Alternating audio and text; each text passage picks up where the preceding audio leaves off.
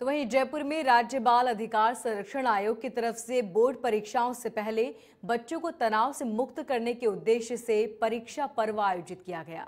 बाल आयोग अध्यक्ष संगीता बेनीवाल के निर्देश में प्रसिद्ध विशेषज्ञों, मनोचिकित्सकों, प्रेरक वक्ताओं के साथ स्कूलों के शिक्षकों और बच्चों से संवाद किया।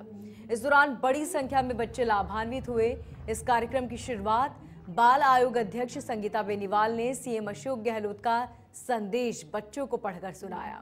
बेनीवाल ने कहा कि परीक्षा से पहले और परीक्षा के दौरान छात्रों में तनाव की स्थिति उत्पन्न हो जाती है, जिससे शारीरिक, मानसिक और शैक्षणिक विकास में रुकावट आती है। ये तनाव बच्चों को अवसाद की ओर ले जाता है।